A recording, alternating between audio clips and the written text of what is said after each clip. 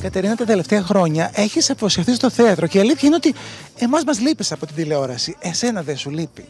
Φυσικά και μου λείπει. Αλλά δεν μπορώ να κάνω κάτι που δεν μ' αρέσει πολύ. Κατερίνα μου, εδώ έχεις μια υπέροχη συνεργασία με όλους τους συναδέλφους εδώ στο δικό μας σινεμά.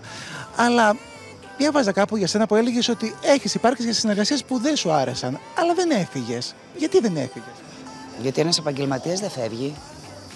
Αυτό είναι δείγμα επαγγελματισμού. Σε ρωτάω γιατί είχα διαβάσει ότι σε μια συνεργασία σου αφαίρεσες τη χολή σου λόγω όλων αυτών που περνούσες. Έχεις ακούσει που λέει ο λαός, μου πρίξες τη χολή. Ε, αυτό έπαθα, μου πρίστηκε η χολή. Δηλαδή σωματοποίησα όλη αυτή την ένταση. Μπορεί ένας ηθοποιός ουσιαστικά να βιοπορίζεται μόνο από το θέατρο. Εγώ βιοπορίζομαι. Έχω εδώ και πάρα πολλά χρόνια έχω μειώσει πάρα πολύ τις ανάγκες μου. Ξέρω ότι μπορώ να ζήσω με το μισθό που παίρνω από το θέατρο, ο οποίος μην φανταστεί κανείς ότι είναι μεγάλος. Τι από αυτά τα πράγματα τα οποία, αν θέλεις, έκανες πριν από την κρίση, τώρα τα έχεις κόψει τελείως; Έπαιρνα παπούτσια που κάνανε ξέρω εγώ, όσο κάνανε. 500 ευρώ, ας πούμε, έχεις δώσει; Παραπάνω. Τώρα δεν αγοράζω τίποτα. Περιμένω τις εκπτώσεις, κάνω research από το μέσο του διαδικτύου ή δεν θα πάρω κάτι γιατί έχω και πάρα πολλά πράγματα και γενικά είδα ότι αυτό δεν μου προσδίδει και τίποτα. Ποιο είναι το πιο ακριβό κομμάτι της καρδαρόμπα σου; Ένα ξέρω εγώ δερμάτινο φόρεμα το οποίο έκανε όλο το σετ, ξέρω εγώ 10.000 δολάρια. Πολλά. Ναι, άστα τώρα. Βλακίες. Βλακίες.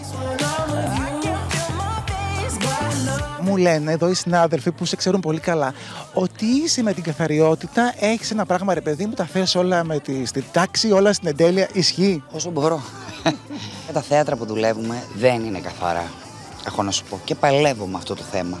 Πες μου έτσι μια συνήθεια που έχεις καθημερινή που αφορά έτσι την τάξη, την καθαριότητα που σου έχουν πει κάποιοι ότι είναι λίγο υπερβολική; Είχα φτάσει να πλένω τα χέρια μου περί τις 60 φορές και καλά. Όχι, τώρα το δείξω, το βλέπει η κάμερα. Έχει πλύνει τα χέρια του. Όχι, δεν τα έχει πλύνει. Πρέπει να κάνει έτσι. Έτσι, όπως τα πλένουν χειρουργικά. Αν έρθω στην τουλάπα σου, θα είναι όλα τα ρούχα με αποχρώσεις. Φροντίζω να τα βάζω ή με αποχρώσεις ή με θέμα. Θέμα λέγοντας; Δηλαδή, εφρόσινα φορέματα. Για να ξέρω που να στοχεύσω. Δεν έχεις κάνει στο πρόσωπό σου τίποτα και μου κάνει εντύπωση. Έχω αντισταθεί. Η αλήθεια είναι ότι όμως μου φέρεται και καλά ο χρόνος. Δεν μπήκες ποτέ στον πειρασμό να πεις ε, ας κάνω μωρέ ένα πότοξ να δω πώς θα είμαι. Κάτι ο πόνος, κάτι οι ενέσεις, κάτι τα πληξιβία. Λέω, εντάξει μωρέ, θα αφήσουμε, δεν πειράζει. Έχεις κανένα καλό τύπο. Αυτό μου το είπε η αισθητικός μου πολύ νωρίς. Μου είπε, αντιλιακή 365 μέρες το χρόνο. Είσαι τόσο κομπλεσάριστη που λες στην κάμερα την ηλικία σου. Ε, αφού είναι γνωστό, 52 χρονών είμαι. Όταν μπήκε το 5 μπροστά έπαθες κάτι; Άλλα πράγματα στη ζωή μας είναι πιο σοκαριστικά.